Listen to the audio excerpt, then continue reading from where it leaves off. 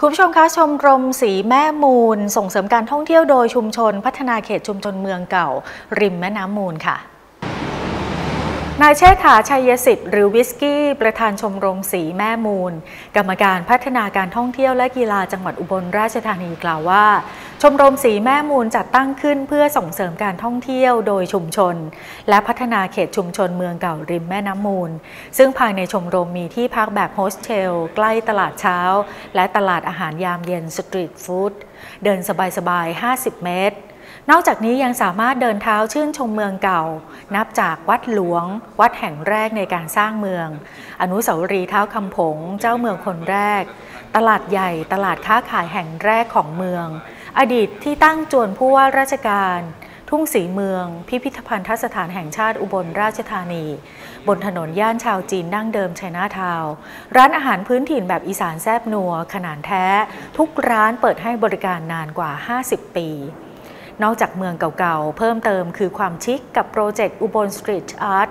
ที่นำงานศิลปะแบบ street art มาสร้างสีสันปลุกเมืองเก่าของอุบลราชธานีน่าแวะเที่ยว พร้อมเช็คอินเซลฟี่โครงการอุบล street art projectเป็นโครงการโดยความร่วมมือของกลุ่มนักธุรกิจรุ่นใหม่หอการค้าไทย จังหวัดอุบล หรือ YEC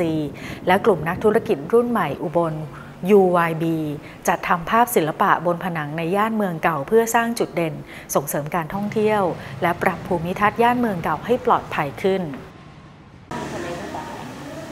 ขอบคุณมากครับ ตอนนี้ก็ขออนุญาตว่าวันนี้ก็เราอยู่ในบริเวณเขตเมืองเก่านะครับว่าเป็นที่ทำการของชมรมสีแม่มูลนะครับ โดยที่ใช้เป็นสถานที่ที่พบปะกับสมาชิกนะฮะภายใต้ชื่อร้านเชียงมูลนะครับ ซึ่งเรามีวัตถุประสงค์ในการที่จะเข้ามาเพื่อที่จะให้ประชาชนเนี่ยได้เห็นว่าสถานที่ในเขตเมืองเก่าเป็นเรื่องที่สวยงามนะฮะเราควรที่จะร่วมกันรื้อฟื้นนะฮะหรือว่าฟื้นฟูสิ่งที่สวยงามนะครับ ภายใต้ถ้าเป็นทางวิชาการเขาเรียกว่าเป็นช่วยกันผลักดันส่งเสริมแหล่งท่องเที่ยวเชิงทวินหา ที่ว่าได้หายไปนานนะครับ เราก็ได้รับการตอบรับจากประชาชนโดยเฉพาะคนที่อยู่ในพื้นที่นะฮะ เขาก็มีความรู้สึกภาคภูมิใจนะฮะในการที่เขาจะได้พยายามค้นหาสิ่งที่เคยสวยงามในอดีตนะครับ ที่นี่อย่างที่เรียนไว้นะครับว่าเป็น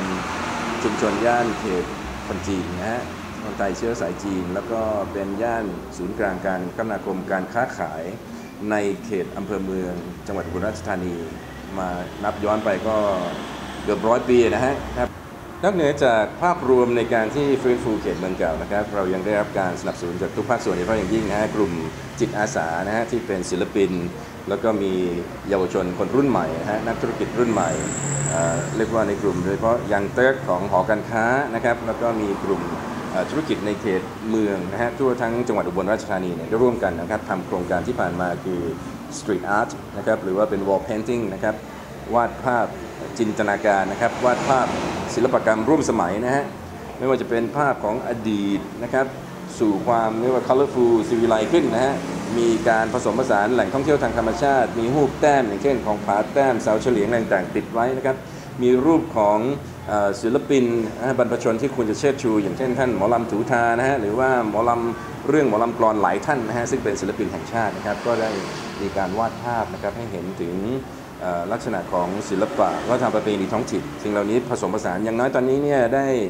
มีจุดที่สามารถที่จะบันทึกภาพได้โดยศิลปินที่มีชื่อเสียงนะฮะถึง 6 จุดด้วยกันนะครับเราก็พยายามที่จะขยายจุดโดยรอบโฟกัสมาที่เขตเมืองเก่านะฮะผู้คนจะได้เดินเที่ยวชมนะฮะเห็นอาคารบ้านเรือน คนยังอาศัยอยู่นะฮะในพื้นที่นี้นะครับไม่ใช่ว่าเป็นตลาดร้างนะครับ แต่ว่า ด้วยวิถีของเขานะครับเขาก็ยังไม่ได้มีลูกหลานคนรุ่นใหม่นะฮะเข้ามาสืบสานต่อยอดธุรกิจนะครับเราก็หวังว่าการฟื้นฟูเขตเมืองเก่าในครั้งนี้นะฮะจากทุกภาคส่วนนะครับโดยเฉพาะทางศิลปินจิตอาสาต่างๆเนี่ยจะช่วยสร้างสีสันนะครับในรูปแบบร่วมสมัยนะฮะเพื่อที่จะเป็นจุดดึงดูดนักท่องเที่ยวและคนรุ่นใหม่ได้เข้ามามีโอกาสชมมีโอกาสเผยแพร่ทางสื่อออนไลน์นะครับเพื่อให้ประชาชนโดยทั่วไปได้รับทราบรับทราบถึงความ สวยงามและความน่าชื่นชมของพื้นที่เขตเมืองเก่า อุบลราชธานีริมแม่น้ำมูลครับ ขอบคุณมากครับ